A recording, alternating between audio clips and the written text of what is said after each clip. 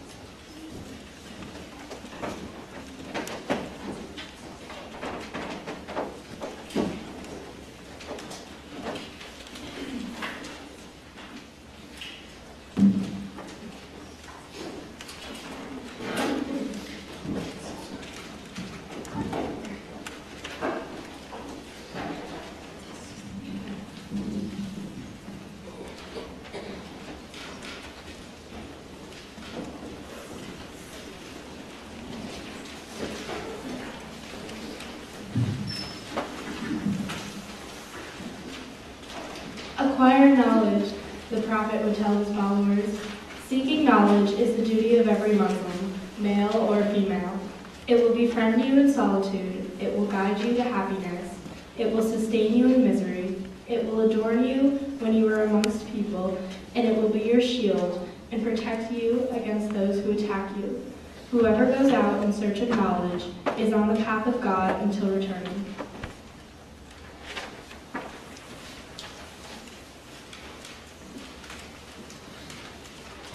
Morning. Good morning. Um, We have a real treat today. Our speaker will be Aida Mansoor. Um, Aida was born in England. She uh, did joint honors degrees in biochemistry and physiology at King's College, London. Um, Then, because I guess she wanted to, she went to California and did another degree. Um, she also has a chaplaincy degree, and she is the chaplain for a number of mosques in um, the the greater Hartford area. She has two children. She has a son who's going to George Washington, and a daughter. Um, I've known Aida for a long time. Um, She spoke here last in 2009, and um, after the San Bernardino shootings, a number of us decided that we, it would be a, a, a good gesture to go to a local mosque, so we went to Aida's Mosque. And um, it was quite something for me, especially in the wake of that shooting, and there was so much media about, um, about Muslim terrorists and about the divide of religions and all that sort of thing. And the, the sermon that day was really something. Uh, the, the imam talked about um, about Thanksgiving as a life disposition, and he's a wonderful speaker, extremely eloquent, um, both both abstract and great details for those of you who are working on papers for English. And he he said he said there's so many things that we that we can complain about in our lives, but he said let's just take a longer view of things. What do we have? What do we have to be thankful for? And, and among other things, he said, why do we give thanks to Allah in all things? It's, I mean, there, there are several reasons. One is that it, it takes the me out of everything. I'm thankful for something other than just what I'm getting or what just what I am. Um, it's also a way to form larger communities. And um, at the end, he said, you just think of the things that we're all thankful for. And he's, this again, he's talking to, to the people in the mosque. And he said, he said um, we, we're thankful today that the people from Westover have come to our mosque to show their solidarity with us. In, in again, in the wake of, um, of all of this publicity about, about you know, the Muslim terrorists and all that sort of thing. And he said, and he said, we have, we can be thankful that these people are visiting us. And what was moving to me was that as I was leaving, at least 20 people stood up, um, lined up next to me, all of whom shook my hand um, as they were leaving, leaving the mosque. And the last thing I remember, the last man shook my hand and said, you know, we need each other. Just very simply, um, but it was quite moving. And at that point, I knew that we needed to ask Aida to speak. So, um, please welcome Aida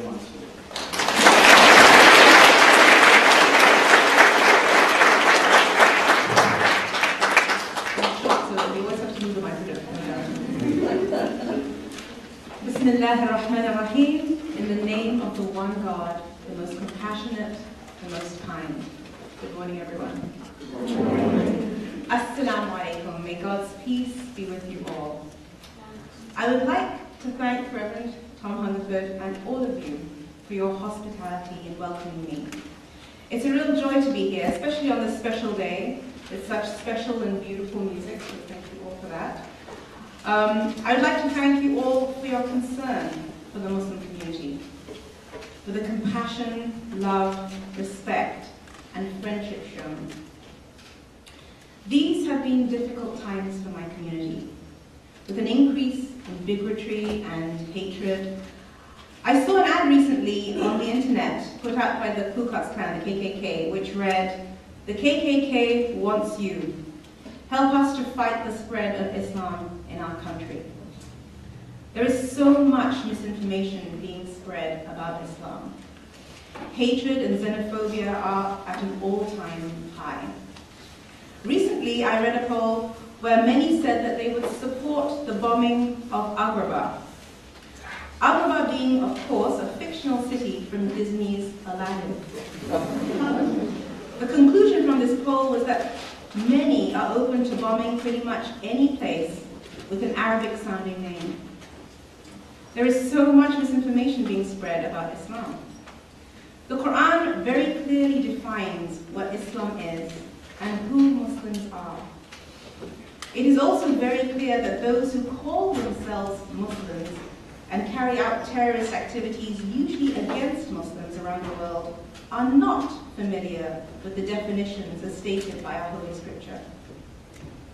As Muslims, we affirm and uphold the sanctity of all human life, the taking of which is among the gravest of all sins. Suicide is forbidden in Islam, as only God can give life and only God can take life.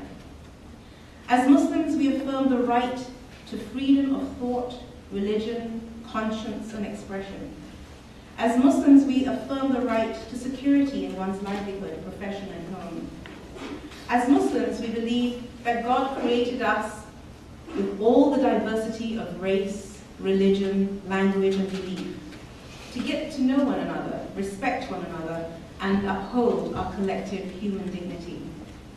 As Muslims, we believe that Islam is above all a religion of peace and mercy, and that as Muslims we are obligated to model those traits in our lives and characters, and to work for the good of our society. It is amazing to think that although just 3% of the American population is Muslim, Muslims account for 10% of America's physicians. Many Muslim physicians will quote the verse in the Quran that states, Whoever saves one life, it is as if he had saved mankind entirely. Life is to be valued, nurtured, and preserved. And this is stated in the Sharia, Many are unaware of what the Sharia is, that, is it, that it is simply guidance from which we obtain the law. There is so much misinformation about this as well. Few realize that the six principles of Sharia are the right to the protection of life, the right to the protection of family, the right to the protection of education, the right to the protection of religion, the right to the protection of property, and the right to the protection of human dignity.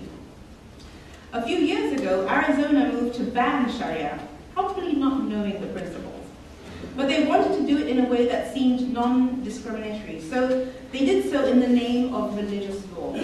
As well as banning Sharia, they also banned canon law, halakha, and karma. Yes, they moved to ban karma. I one's destiny, so I'm not sure how they planned to ban it, but they did. After shootings in San Bernardino, American Muslims became more aware, sorry, became more of a target than ever before, and it reminded me of the time of 9-11. After 9-11, a Sikh gentleman was gunned down for looking foreign, just looking foreign. I remember the imam from the Hartford Mosque calling all the women he was aware of who wore the headscarf or hijab, advising us not to go out for a few weeks. I re remember being able to do this for a whole week, and then one morning I realized that we had run out of milk. At that time, my kids were very young and committed milk drinkers, so I decided I would make a quick stop, uh, a quick trip to Stop and Shop, and get those two gallons of milk and be out of that. I remember very clearly parking my car and walking into the.